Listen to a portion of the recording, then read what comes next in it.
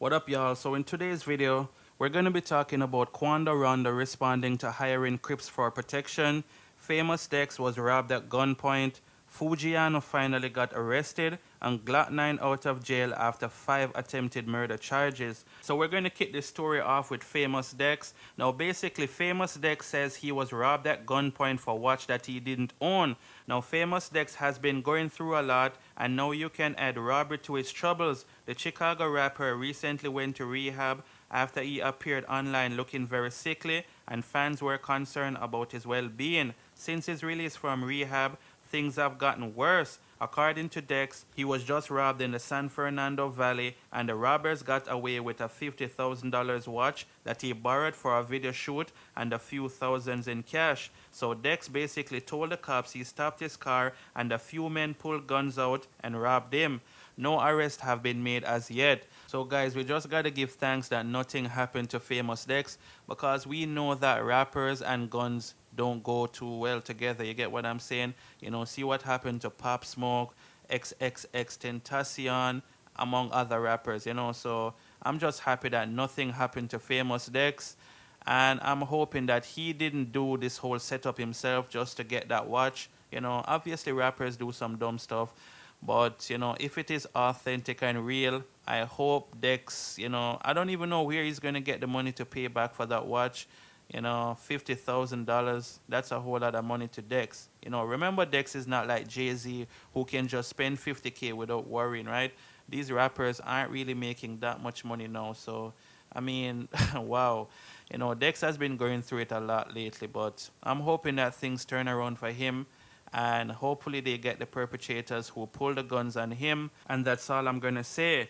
Now we're going to talk about the Popo finally catching Foogiano. Now in December, Foogiano, who is on probation for a 2015 burglary incident, burned off the ankle bracelet his probation judge gave him to wear and did the race. Three months later, they've caught him. Earlier this week, Gucci Mane's artist was arrested in Memphis.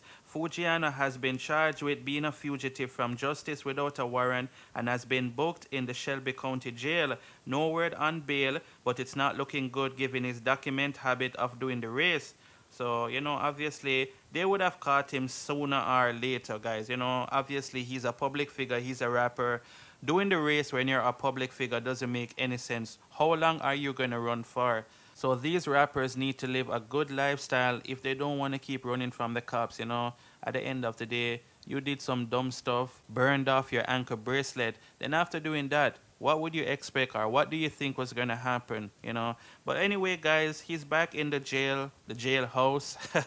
Let me know what y'all think about this in the comment section. Now rapper Glokknine he's out of jail after five attempted murder charges. Now Glokknine was arrested on five counts of attempted murder earlier this year. Prosecutors accused the cash money rapper and all his family no friend gangs of waging a war of terror on their orlando rivals in part. So Glokknine would be the the only rapper in town. Five people were killed in the carnage, including a three-year-old caught in the crossfire. Glokknine was able to make bail earlier this week and announce his return with the track No Worries. So what do you think about this, guys? I think Glokknine should be worried, you know. He's facing five attempted murder charges. Um, I don't even know what to say, you know. Obviously, a three-year-old was killed in the crossfire. So you know, I, I'm, I don't really know much about this Glokknine guy, but I know that he's always getting arrested. That's for sure, you know. But we'll just have to watch and see how this whole case turn out. Will Glokknine beat all of these murder charges? Let's watch and see. But anyway, guys, leave y'all comments. Let me know what y'all think about this. Now, Quando Rondo actually went on Instagram Live and he tried to clear the air as there were some rumors circulating about him asking the Crips for help. Now basically he said that before he do that, he would rather spend his money and hire security.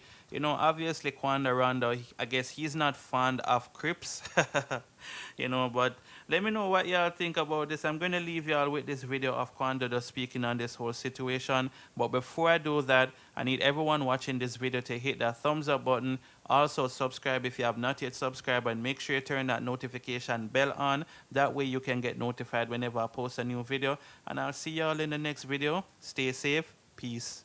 Then on top of that, Cause I ain't the richest man in the world. I, I'm not saying that. But I got real paper. Like on some real nigga shit. Like, nigga, before I come another man for some protection, nigga, I'm gonna pay security guards. What the fuck? And I ain't even about to do that, cuz it's just me and my family. Everybody around me, family. I know what everybody around me gonna do. I ain't never been bitch ass nigga. But before my daughter grow up and hear her daddy was a bitch, she'll grow up without a daddy. And that's just some real ass shit. Y'all folks do anything to bring a nigga down. They y'all folks want y'all folks ain't in the nigga situation. Y'all folks don't know what the fucking nigga got going on, cuz. Half y'all folks are panic, y'all been in my shoes. The fuck?